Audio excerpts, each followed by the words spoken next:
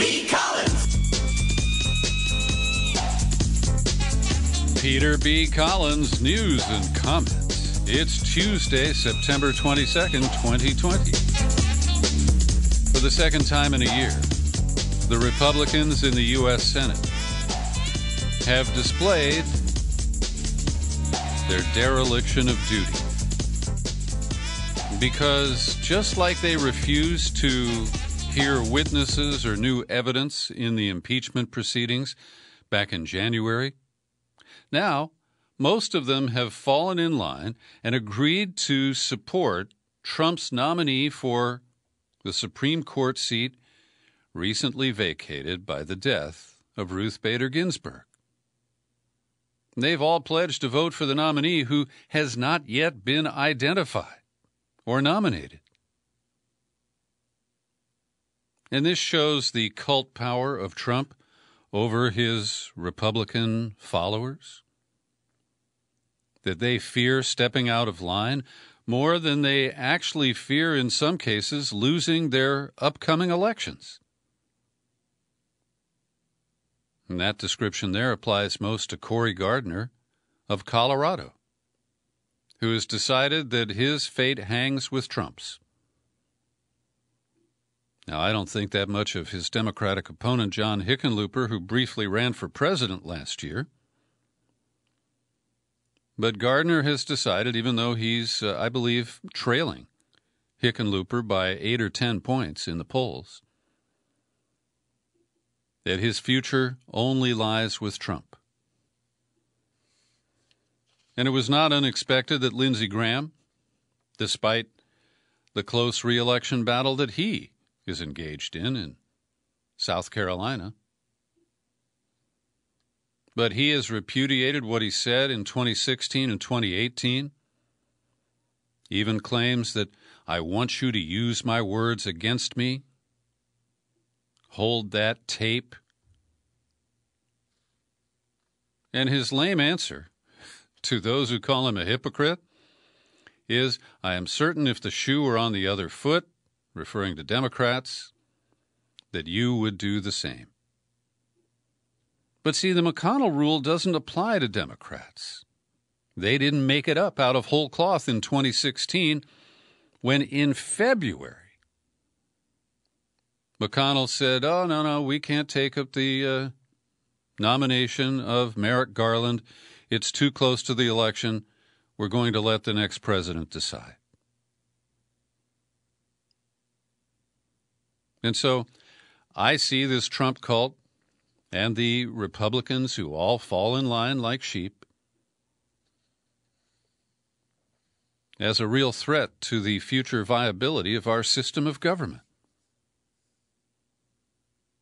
They're clearly in violation of their oath to uphold and defend the Constitution in both the case of impeachment and the case of this opportunistic approach to packing the court with a young conservative who is anti choice, anti Obamacare, And that is just speculation based on the pool of people who have been named publicly.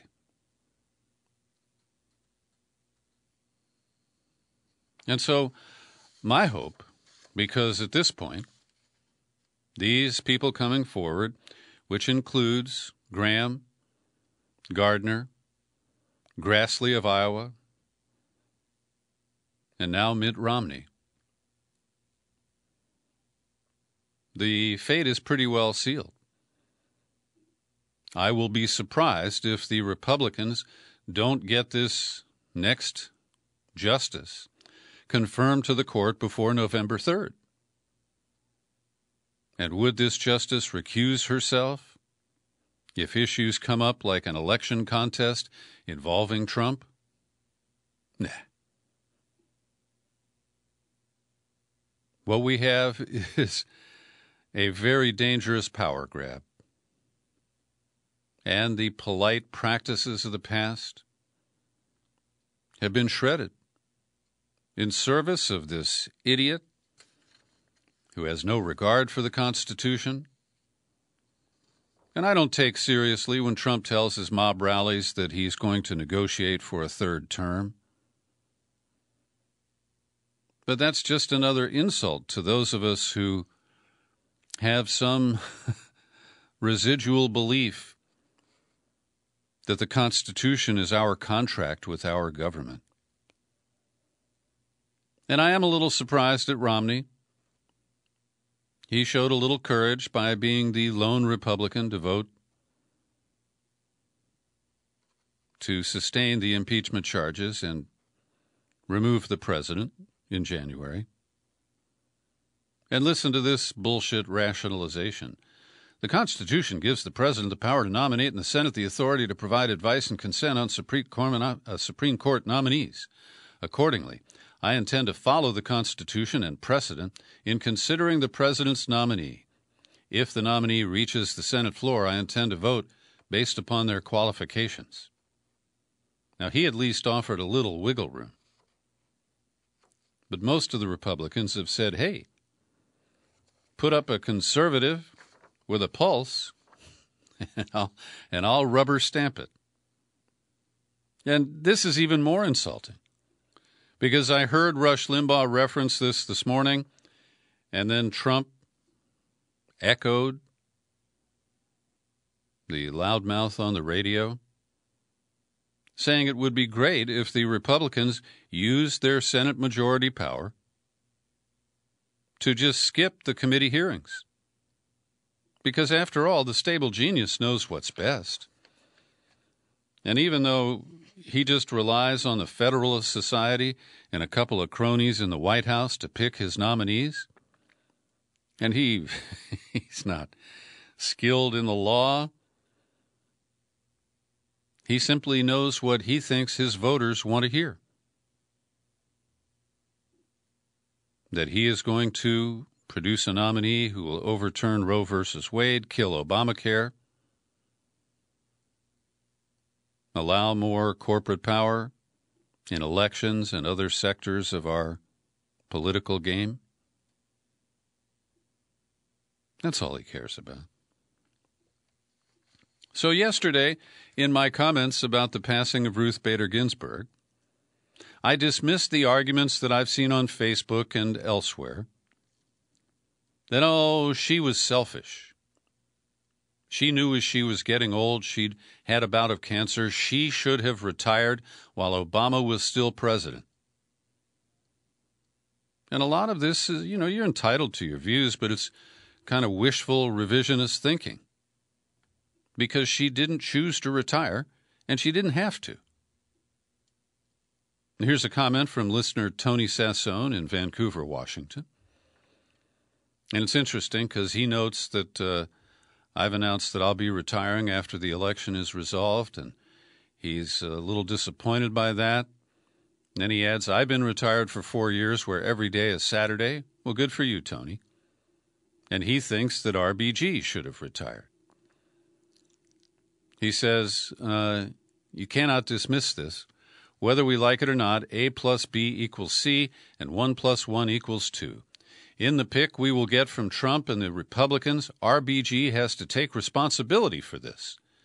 She chose a selfish route, not retiring in 2009 when she was 76, and the Senate had 57 to 58 votes for a couple of years and 60 votes between 2009 and 2010. She could have done a deal with Obama to get a short list of women that she approved of, but chose to stick it out until her death at 87. Probably good for her, but not so for the country. Well, I'm sorry.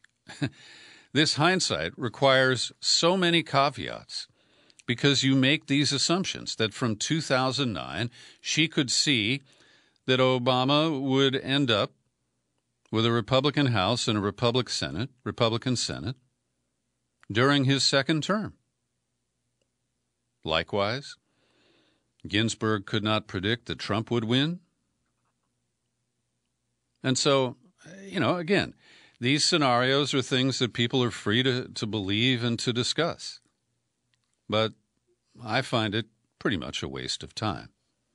At the New York Times today, Emily Bazelon kind of channels Ginsburg from, well, she's not in the grave yet, but let's say from the other side. Why didn't Ginsburg resign years earlier when Obama could have named a nominee for her seat? Ginsburg didn't think women should get to do what men did because she believed they would do the job better. She wanted equality for its own liberating sake. Litigating at the Supreme Court in the 70s, she helped achieve a series of victories that helped free women and men and transgender people from the confi- confines of narrow, gender based expectations. She goes on to say After Sandra Day O'Connor retired to take care of her ailing husband who had Alzheimer's, she regretted it. Soon after she left the bench, his illness progressed to the point that he didn't recognize his wife. She told her biographer that retiring was the biggest mistake, the dumbest thing I ever did. And a former clerk of Ginsburg back in 2010 2011 said, I think O'Connor's departure served as something of a cautionary tale for Ginsburg. She still had a lot she wanted to see accomplished. And then, after her own husband, Martin Ginsburg, died in 2010, her life revolved around love of her work says the same former clerk, David Newman. If you had a camera trained on, uh, a camera trained on her 24/7 the year I was clerk, you would have seen her during almost all her waking hours, reading, writing, editing, giving speeches, immersed in the law and the craft of judging. And in 2014, Ginsburg told a magazine, Anybody who thinks that if I step down, Obama could appoint someone like me, they're misguided. She suggested no one as liberal as she could get confirmed, and that her production had not slowed down. So, those are her views. And again, fundamentally, I respect people who disagree, but I just don't think that bashing the late justice gets us anywhere. we're, we're here, and you don't need Trump to tell you it is what it is. So we have some news today on voting rights issues. The North Carolina State Board of Elections has agreed to count mail ballots if they are postmarked by Election Day and received up to nine days later.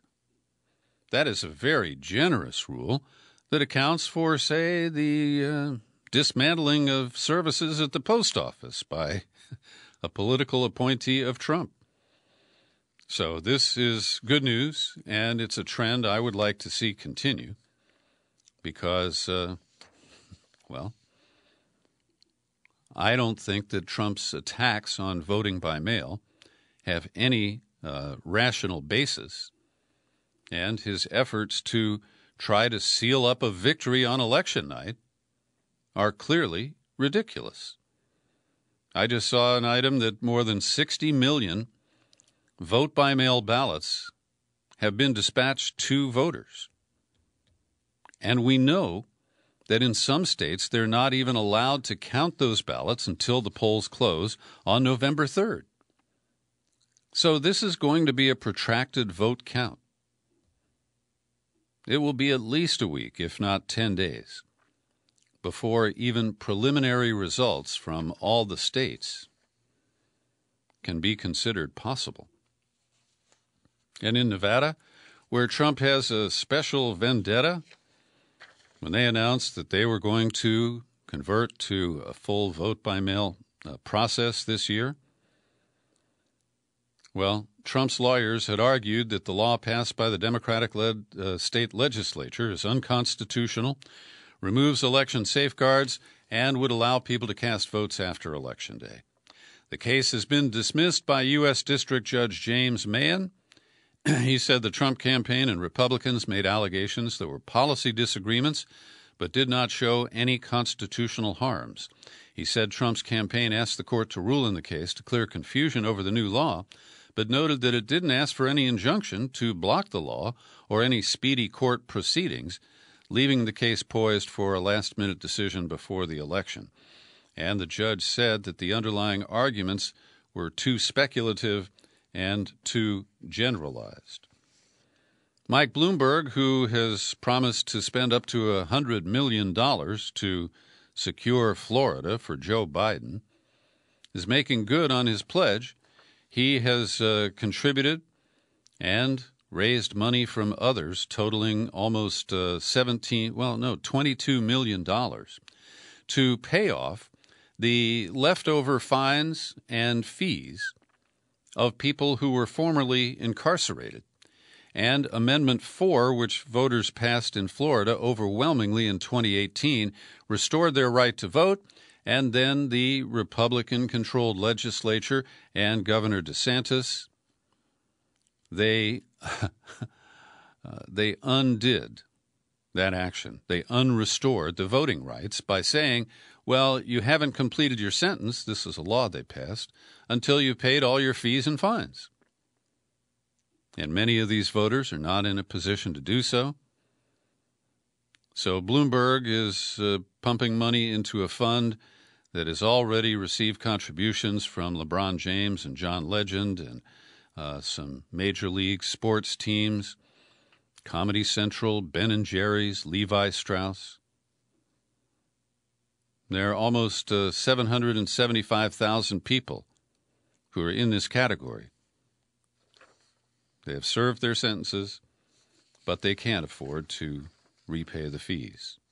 Last week, Olivia Troye, a former senior advisor to the White House coronavirus task force who had worked for Mike Pence, she announced that she was uh, not able to vote for Trump again. She would be voting for Biden because of what she saw in the Trump White House. His flat out disregard for human life, she said. So now they have trotted out uh, retired Lieutenant General Keith Kellogg, who is also a Pence advisor, and he is the designated assassin for Olivia Troye. And he said, She worked for me. I fired her. I fired her because her performance had started to, started to drop after six months working on the task force as a backbencher. So he plays down her role and basically says that he escorted her off of the White House compound. But Olivia Troye says, well, not so fast. He's telling a bald faced lie to protect the president. I resigned on my own accord. I was asked to stay. Uh, the general never escorted me out. He knows this. I wrote a note thanking all the colleagues who had worked so hard with me in spite of the president, and I stand by that. So that shows you what you get if you uh, jump the uh, the ship, the USS Trump. I want to take a moment here for my California listeners and urge you to vote against Proposition 22 on the November ballot.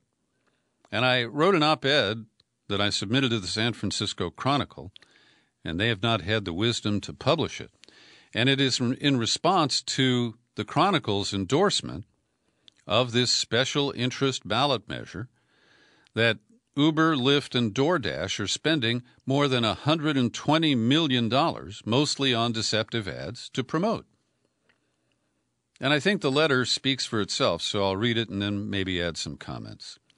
I wrote, using tortured logic, glaring omissions, and plenty of hemming and hawing, Chronicle opinion editors endorse Proposition 22, the initiative, heavily funded by Uber, Lyft, and DoorDash, seeks to rewrite state labor law again to suit the predatory business models of these disruptive tech startups. These businesses have operated outside the law from their inception by brazenly ignoring the long-standing definition of independent contractors under state law and IRS rules. They've also overrun the regulated taxi industry with tacit approval of elected officials and regulators, destroying the fortunes of many hard-working cab drivers who paid hundreds of thousands of dollars for license medallions that are now virtually worthless. The companies also exploit their workforce, shifting the capital costs of owning and maintaining vehicles to the drivers. The minimal improvements to the terms for those employees that are included in Prop 22 are clear acknowledgement of the paltry compensation offered by the investor-funded tech companies. For the 180 million, I'm sorry, I understated that, that they are spending on deceptive ads, they could improve wages and working conditions, but they choose to write their own regulations instead. In those ads, they use the faces and voices of drivers who often earn less than minimum wage to mouth their self serving talking points. And the Chronicle endorsement amplifies these points while omitting the obvious.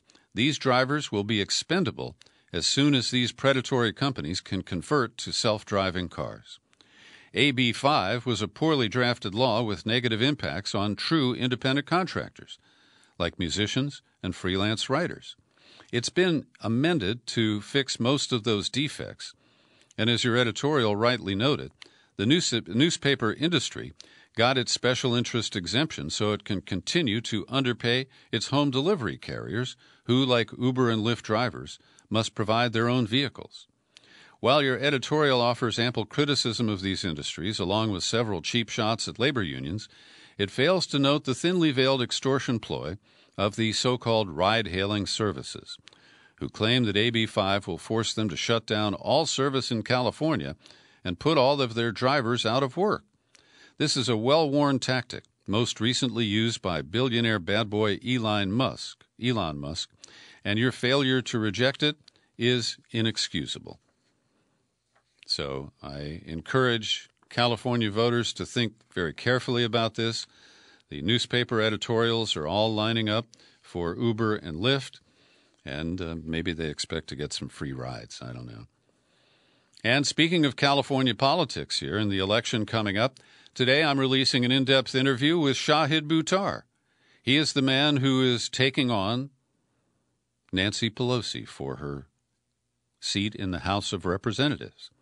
And he makes a very strong case from a progressive, socialist, democratic point of view. Here's an excerpt from my conversation with Shahid Buttar. Uh, the the very reason I'm running as a Democrat against the party leader is precisely to help shift the party's direction. I'd say that there is a wide spectrum of voices within the party. Representative Ocasio Cortez has made this point that in no other country would someone like her and someone like Joe Biden be lumped together in the same party. It's frankly absurd that you know someone as conservative as Joe Biden shares the same party with voices like ours.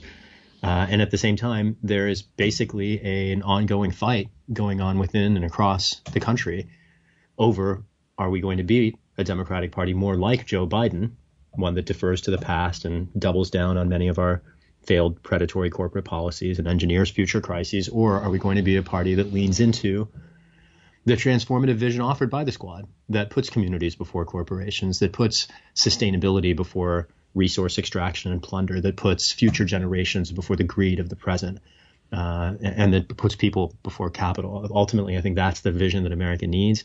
And it's one that we can achieve Certainly not through the Democratic Party as it's currently constituted, but if we knock out some figureheads and send signals to the rest of the party, and one signal I aim to send to the party is that if you are an urban centrist Democrat and you don't show up for your communities, your communities will show you the door. And if we are able to remove the strongest corporate Democrat in the entire body, I think that signal will be one that the rest of them will be very hard pressed to ignore. That's Shahid Buttar, who is challenging Nancy Pelosi for her congressional seat in the November election. As you'll hear in the interview, I've known Shahid for 15 years, since he was the guy who ran the Bill of Rights Defense Committee.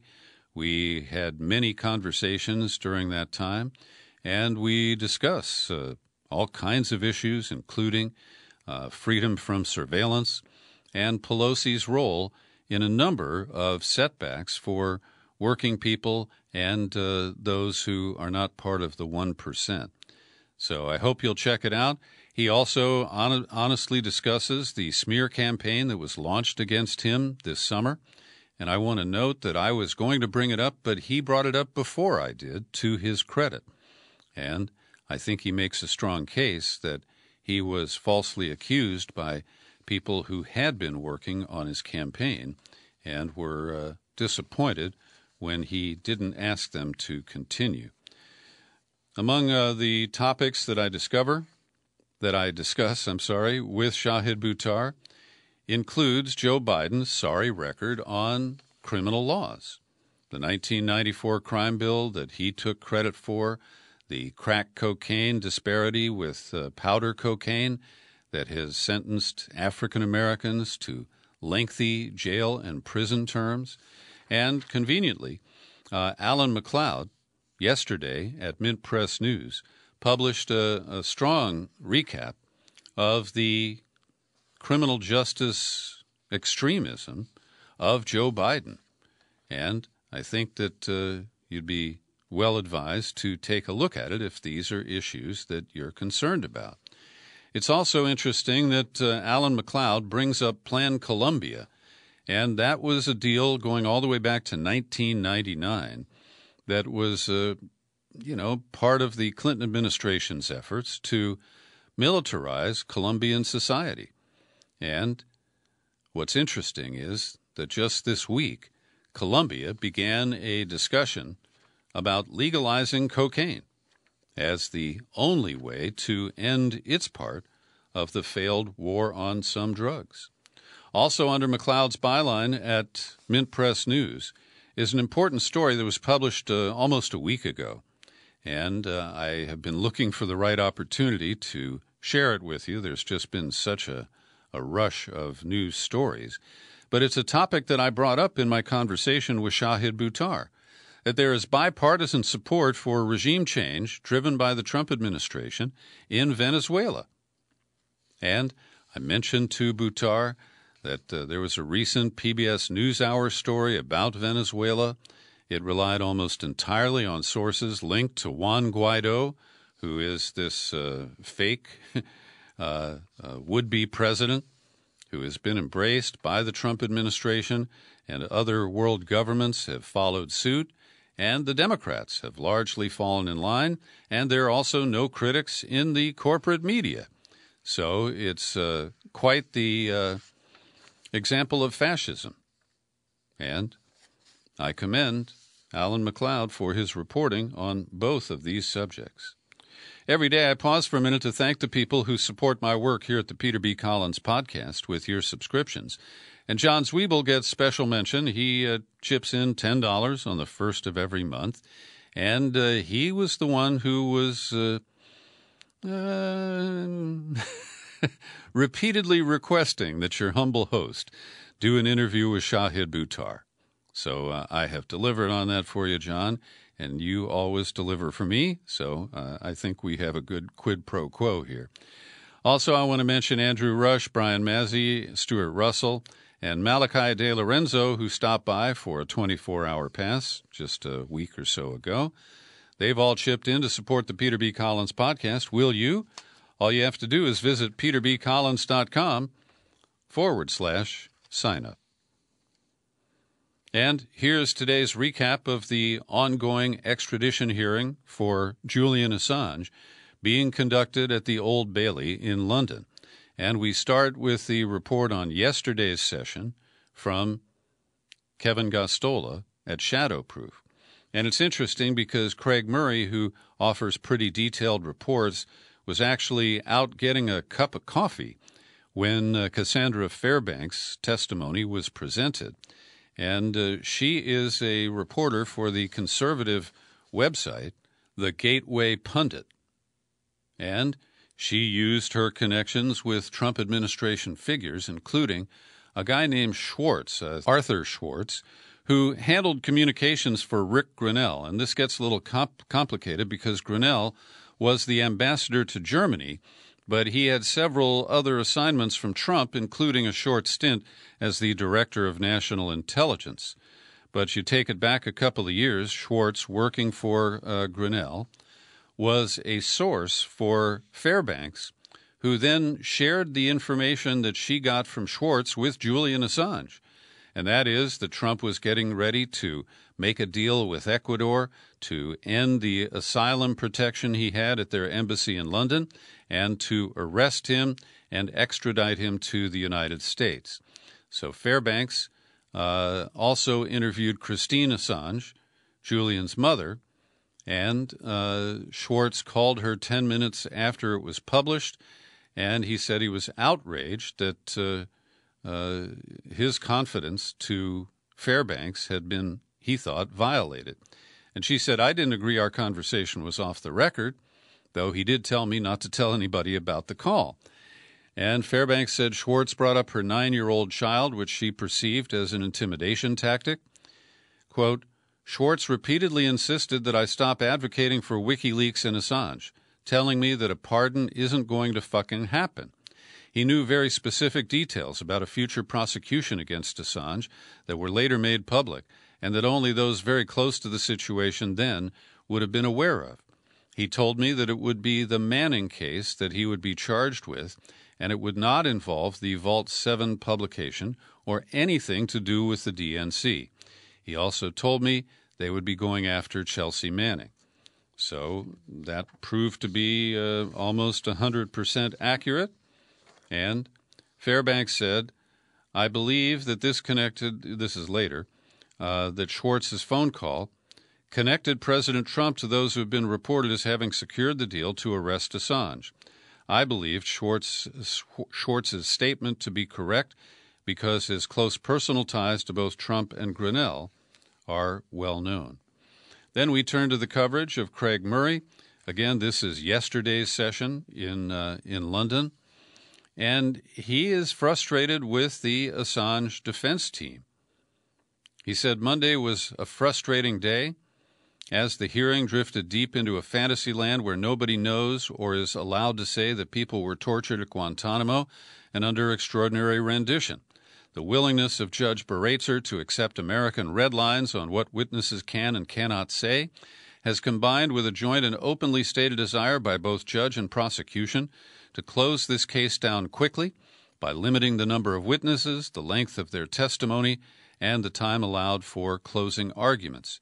For the first time, Murray says, I am openly critical of the defense legal team who seem to be missing the moment to stop being railroaded and say, no, this is wrong, forcing Baraitser to make rulings against them. Instead, most of the day was lost to negotiations between prosecution and defense as to what defense edits, uh, evidence could be edited out or omitted.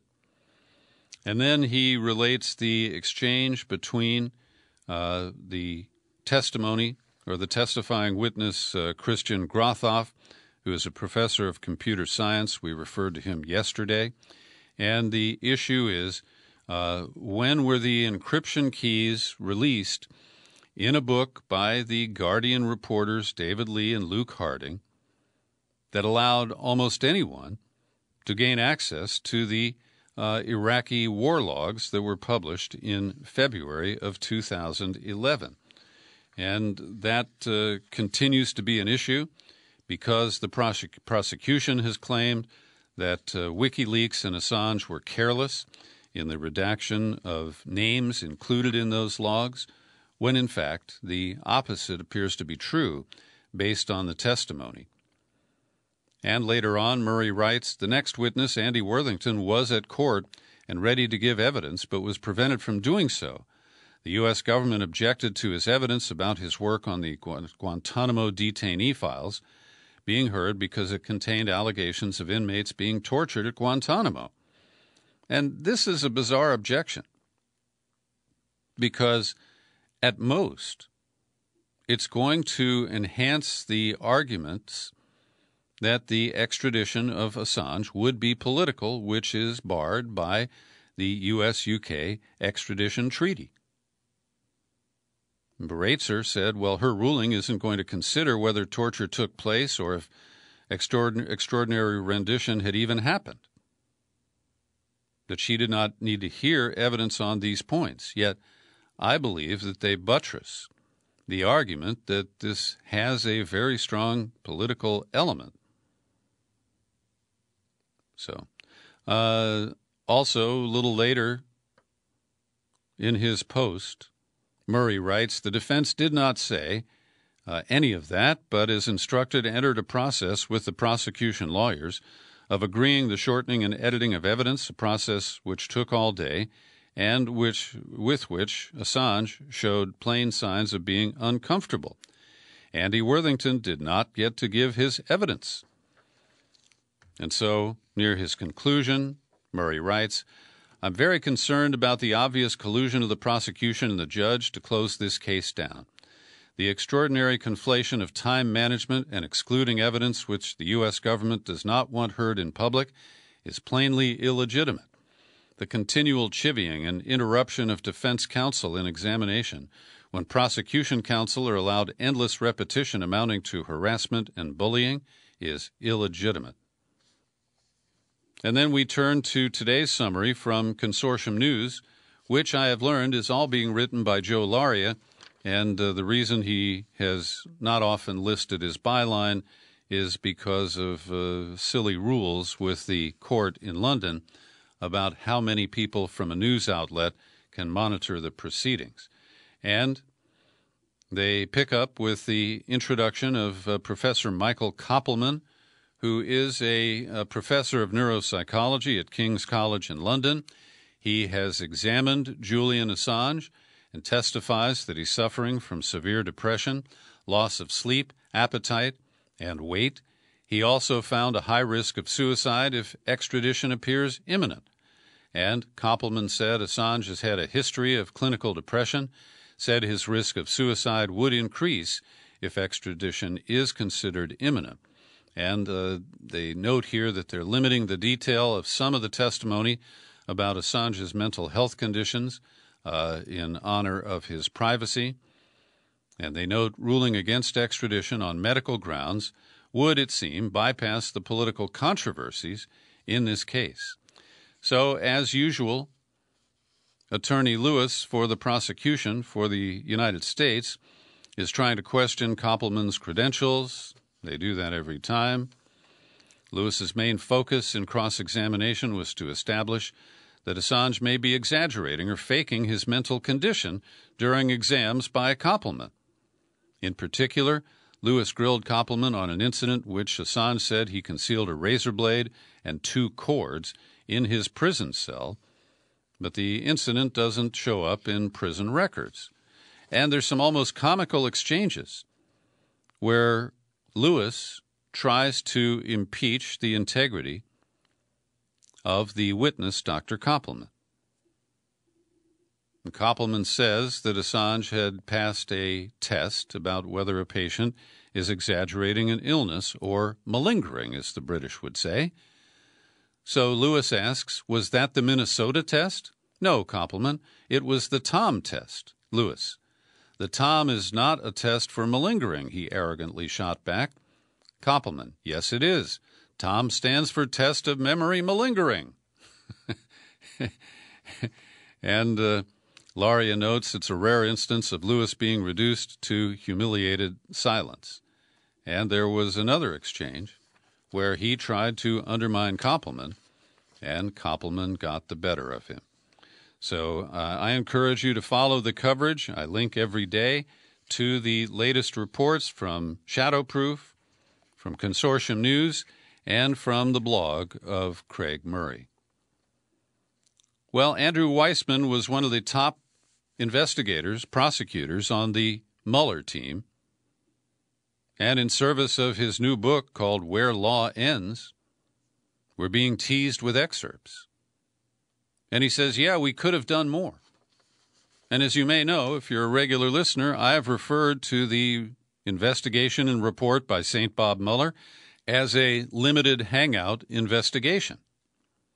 Weissmann says Mueller and his top deputy, Aaron Zebley, avoided steps that would lead to confrontation with the White House, including subpoenas for financial records and interviewing the president and members of his family.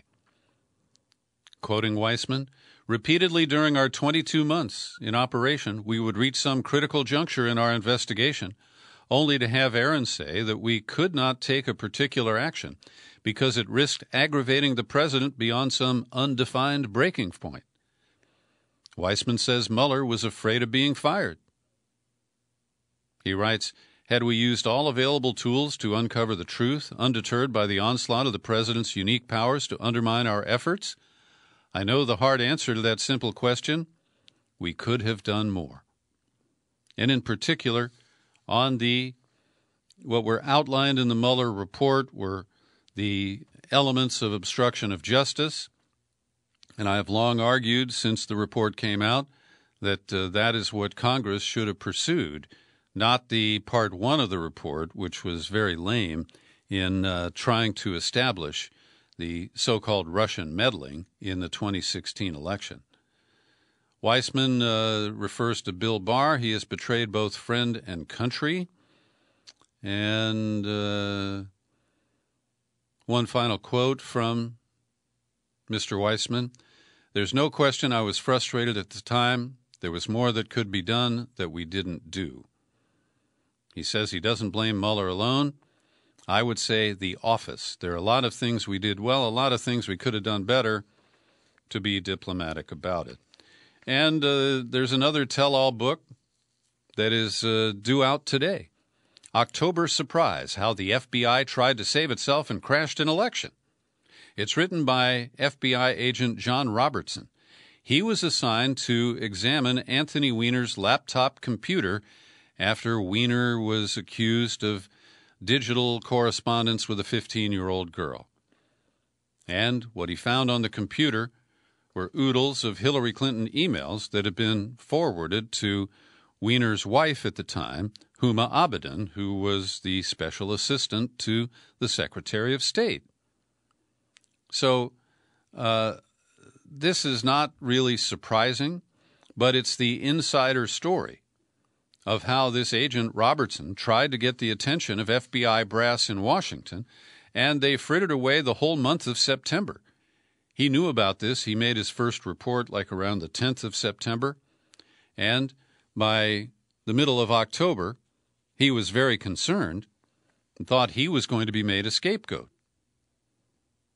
So the prosecutors he were he was working with in the Southern District of New York they kind of uh, uh, tased him verbally, saying that if he leaked about this, that he could be prosecuted. And so it is an interesting insider view of why James Comey went public to say we are reopening the investigation, and then just days before the election say saying that we had conducted an investigation of all of these emails and concluded that she didn't do anything wrong. And it was bad form all the way around, and it pissed off uh, both supporters and opponents of Hillary Clinton. And speaking of SDNY, we are learning that a federal judge has issued a sharp rebuke. Her name is Alison Nathan, Federal District Court in New York. She excoriated the government for its handling of a case against an Iranian businessman accused of illegally funneling uh, over $100 million to his family business. Well, the issue here is that the prosecutors at SDNY, this would have occurred under Geoffrey Berman, who was described as the straightest of straight shooters. They hid evidence from the defense. And there's a paper trail of their discussion about how we bury this uh, document in a stack of other papers.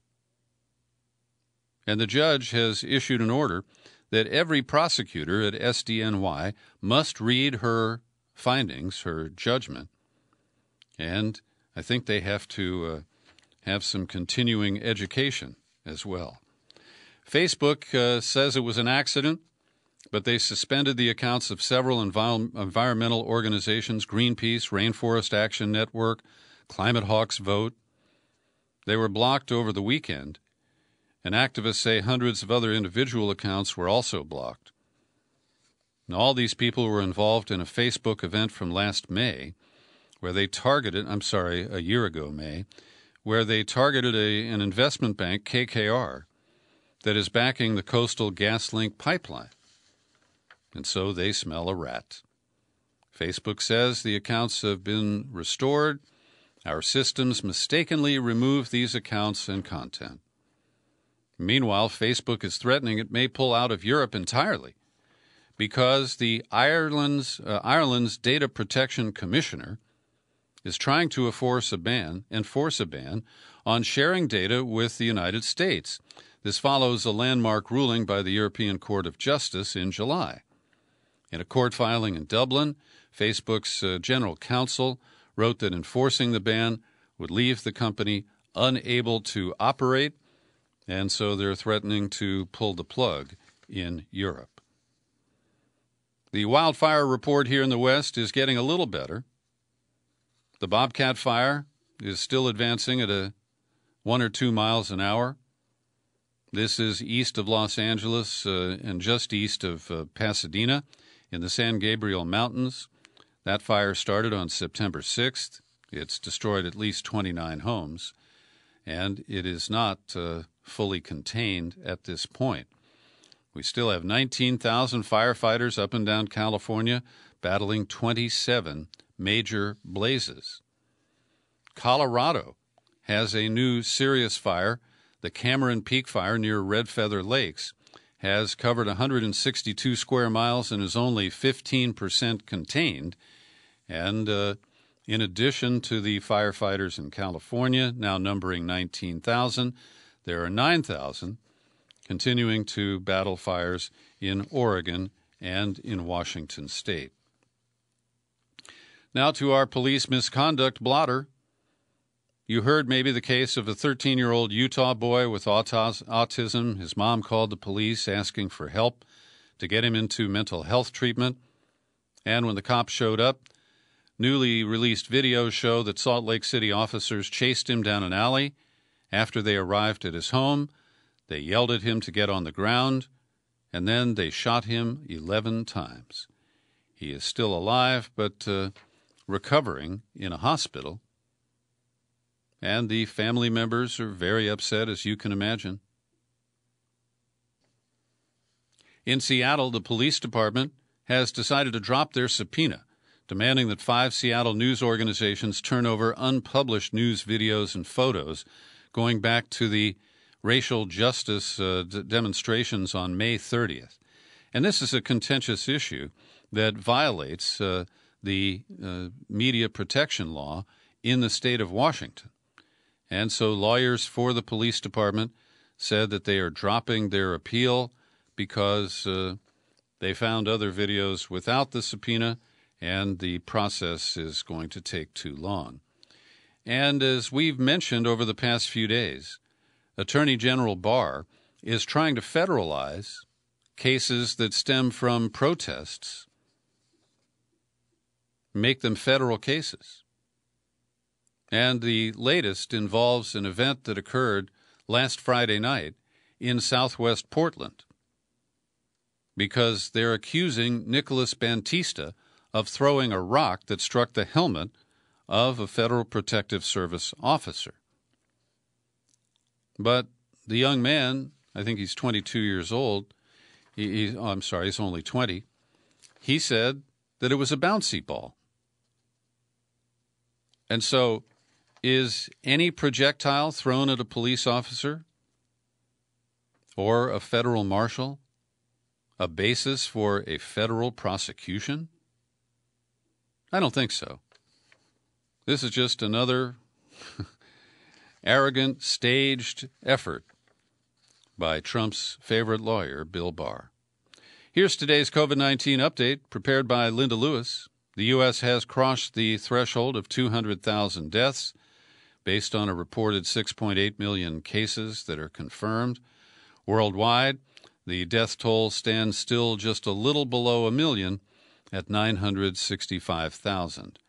And yesterday, the report of new cases nationwide was up to 54,000, and the number of reported deaths at 428. Axios has published a piece called We Blew It. I'll read you some quotes. America spent the spring building a bridge to August, spending trillions and shutting down major parts of society. The expense was to be a bent coronavirus curve, and the other side, some semblance of normal, where kids would go to school and their parents to work. The bottom line we blew it. We blew testing. Trump regularly brags and complains about the number of tests conducted in the U.S., but America hasn't built the infrastructure necessary to process and trace the results. We blew schools, they say.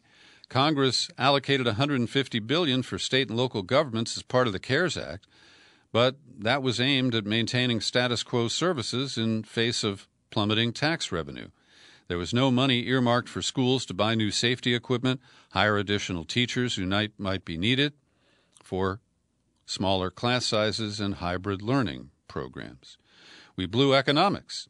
The CARES Act was bold and bipartisan, a massive stimulus to meet the moment, but it's running out with no extension in place. We blew public health. Had we all been directed to wear face masks in March uh, and done so, even makeshift ones, while manufacturing ramped up, you might not be reading this post. In Britain, Prime Minister Boris Johnson announced new virus related restrictions, says the country has reached a perilous turning point. Quote, This is the moment when we must act, Johnson said. The new measures are designed to save lives and livelihoods, could stay in place for the next six months. Greater, greater penalties for breaking virus restrictions will be introduced, and Johnson promised that mask wearing rules would be more strongly enforced. Fines for failing to wear a mask or for meeting with more than six people could double to 200 pounds, about $260 at today's exchange rate. At one of his uh, mob rallies last night, Trump uh, diminished once again the impact of COVID as we passed the 200,000 death mark. He incorrectly claimed that COVID 19 affects virtually nobody younger than 18, again downplaying the extent of the pandemic and contradicting his previous statements. It affects elderly people, elderly people with heart problems and other problems. That's what it really affects, he said. In some states, thousands of people, nobody young, below the age of 18, like nobody. They have a strong immune system. Who knows? Take your hat off to the young because they have a hell of an immune system. He's not recognizing that even if they're young and healthy, if they become infected, they can spread the virus to other people, you know, like their parents and grandparents and teachers and other people they have contact with. A new study uh, presented by John Nkengasong, who previously worked for the U.S. CDC and now is director of the Africa Centers for Disease Control and Prevention. He said that the countries that Trump labeled shithole countries are doing much better than expected. On a continent of 1.3 billion people, Africa has seen just over 34,000 deaths, and uh, they show a mere 1.4 million confirmed cases. Now, that could be a result of limited testing. But he said earlier modeling had assumed a large number of Africans would just die. He said uh, he's happy to report that that is not the case. There was a, a mole, or do we call him a troll, inside the agency run by Dr. Anthony Fauci. And he has been exposed. His name is Bill Crews, C R E W S. He is a PR official at the National Institutes of Health. And while on duty, according to the Daily Beast, he was tweeting critical comments about Fauci and his staff. The Daily Beast writes Crews isn't just a civil servant anonymously disagreeing with his bosses, he's actively undermining their work and even suggesting retribution against them. But the retribution hit Mr. Crews today, who announced his retirement from the National Institutes of Health. And we have seen how the money intended to help little people navigate the economic slowdown and the COVID crisis has been diverted to corporate interests. But what about the Pentagon? Well, the Washington Post today reports a $1 billion fund that Congress gave the Pentagon in March to build up our supplies of medical equipment has instead been mostly funneled to defense contractors and used to make things like jet engine parts, body armor, and dress uniforms. Take that, pandemic. The Pentagon did initially plan to spend the bulk of the billion dollar fund on medical supplies, but in June, they said that defense contractors had critical needs as well. And they needed to prop up these little mom and pop entities that do special manufacturing for the Pentagon. You know, like Rolls Royce, GE Aviation. Who else is in here? Boeing. A Kansas aircraft parts business that uh, feeds Boeing. Yes, you get the idea. And if there is a vaccine, new polling indicates that a lot of people are allergic to it. Six in ten respondents said they wouldn't take a vaccine as soon as, as it's available.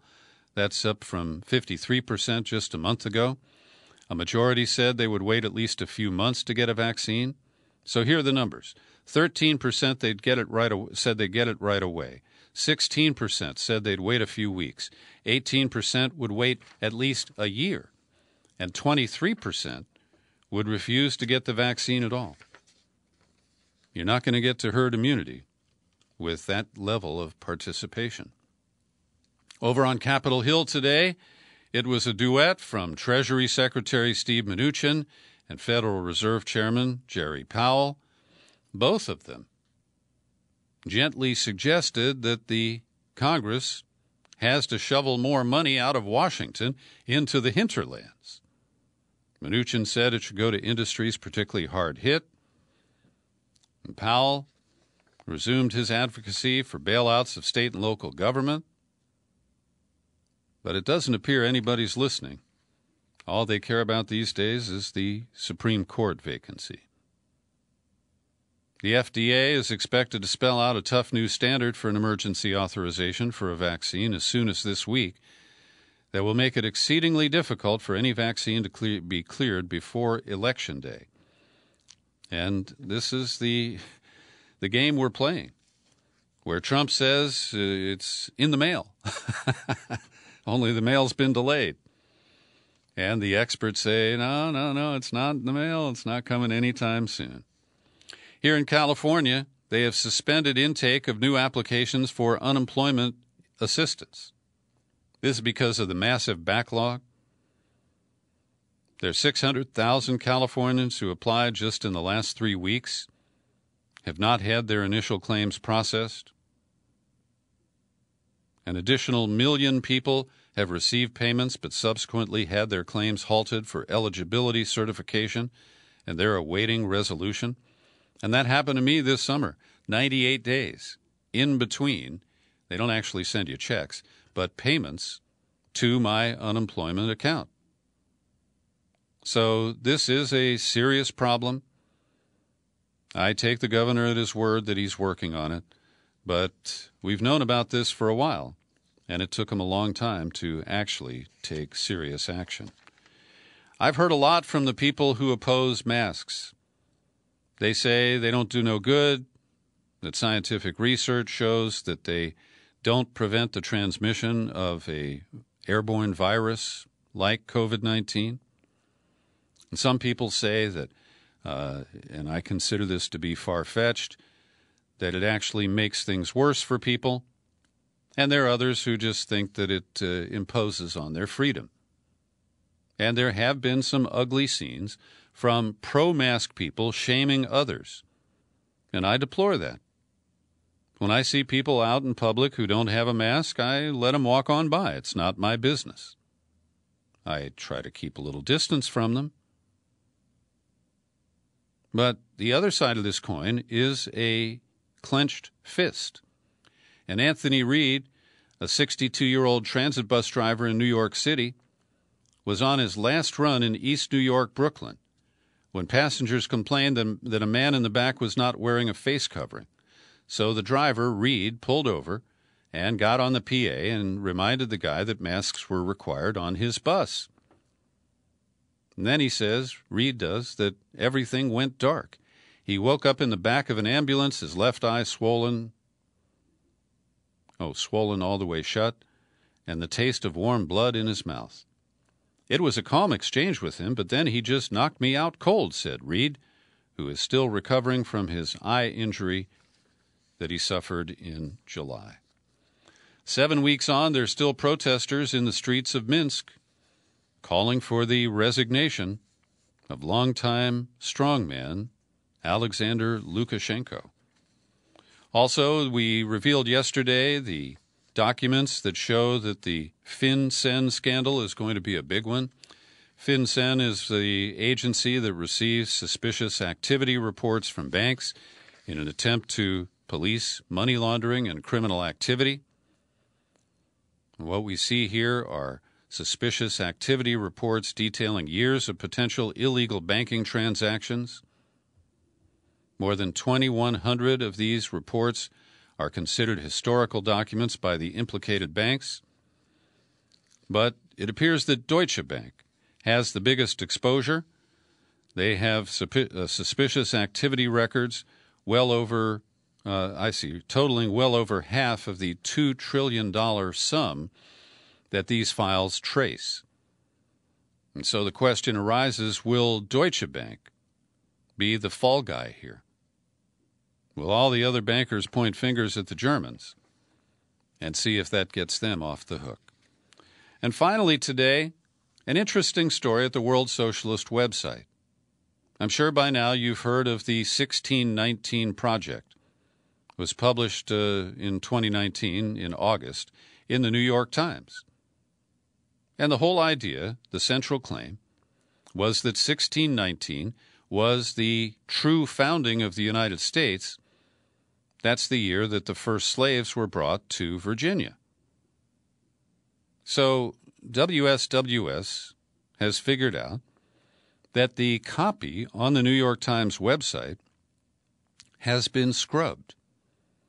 And for example, this line here I'll quote it to you and then I'll, I'll describe what's been removed.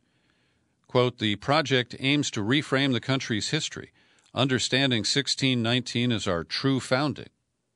Well, that clause, understanding 1619 as our true founding, disappeared. Sometime, they think, last December. Also, a similar change was made from the print version of the 1619 project which has been sent to classrooms in all 50 states. The original version include the, included the line, America was not yet America, but this was the moment it began. That line has been removed. So I don't know the motivation. And quite frankly, I'm not sure of the impact. But these kinds of sneaky moves by the New York Times undermined the credibility of the work that was done and the claims that are being made. Thanks for listening to my daily news and comment podcast all the way to the end here. You're free to share it all over the place. You'll find it on YouTube. I'm Peter B. Happy trails to you until we meet again. Happy trails smile.